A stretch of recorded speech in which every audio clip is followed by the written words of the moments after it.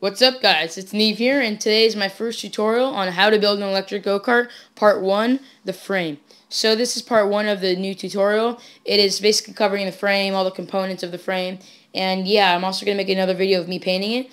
But just saying this go-kart in general will be electric and it'll be wooden. So just make sure you're aware of that before you start building. So let's get started with the tools that you will need. So, you will need a socket set, a soldering iron, a hot glue gun, tape measure, wrench, drill bits, saw. You'll need a, something to mark with, and then you'll need a drill bit. Uh, you'll need drill bits, and then you'll need um, screws and a drill gun.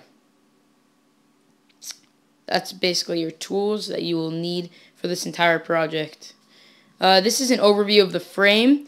Um, the frame is currently missing one piece in this picture, but I have already added it to. But in this picture, it's missing one piece, which I will tell you about later. Um, this is 4 feet long and 20 inches wide, except the seat area extends to 26 inches wide.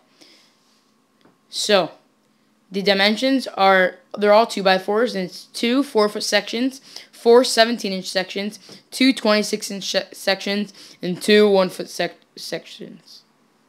That's just the dimensions for the frame. Yeah. So, this is right here um, another picture of the front of the frame. So this is the front. Um, it's just a 17 inch 2x4 right in between those long two black ones, which are the 4 foot ones.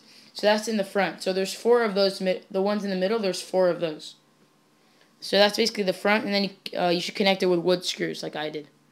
This is another picture showing how I screwed it in. Um, I used two two inch wood uh, wood screws. Uh, it, that's what it's made for. It's made for lumber, and yeah, it's holding on tight. And yeah, haven't had any problems with that so far.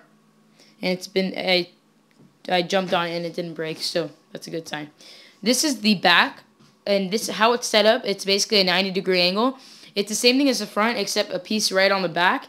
And then right next to it, at a 90 degree angle, there's a flat piece. So instead of it being vertical, it's like flat. It's like kind of like the, the barely painted black one. And it's just flush with the top. So you want to screw that in from the sides.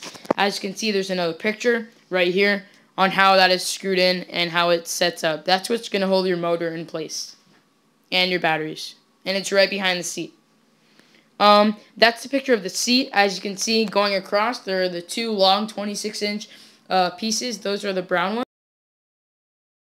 And then intersecting that on the end are the one-foot black pieces. Now over here you can see me cutting the piece of wood that I had I didn't include before, and that's just me cutting it. Now, as you can see here, I have mounted it onto the frame right next to the front piece, and it is not mounted actually. It is not bolted in, it was just fit in. Mine fit in snug, but you don't want to screw it in. You just want to keep it in place like that. Now, the reason for this is because that is going to be angled later on. It's going to hold our steering shaft. So, thank you guys for watching. I really appreciate it. Um, the rest of the parts will come out uh, soon. It'll be all the parts will be out by the next four weeks, hopefully.